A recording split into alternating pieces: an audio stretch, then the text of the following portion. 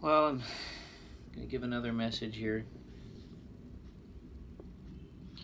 Well, this is an interesting view. I got the prayer room, I got the Kalapa logo, I got my flower vase.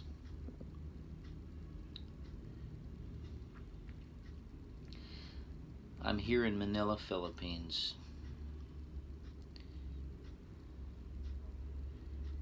I have courage in my heart. I praise and thanksgiving to God.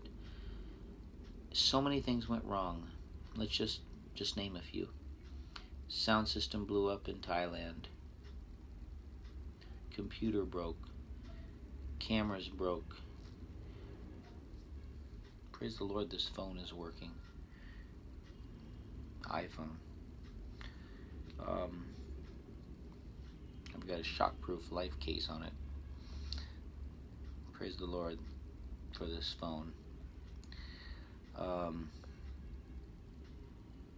everything that I had in mind to do seemed like there was some roadblock or some thing that happened that made it impossible for me to do it. And you know, when you're going through tension and struggles like this, obviously it's it's hard on a on a marriage, it's hard on relationships. So I don't want to share the difficulties we've had in uh, just surviving from minute to minute in a day when it becomes all about just survival and you can't do the ministry and everything's broken and you can't do specific things like my wife and I are working on a musical album. We want to make a uh, a music CD for you for for people out there that want to hear us. My my wife has a sweet voice, plays guitar, and I'd like to include her in on that and that would be a tool and something a vehicle that we can pass out and it would share our ministry as we go around I'm working on some publications that I want to republish some incredible writings that are just so near and dear to my heart. One is the subject.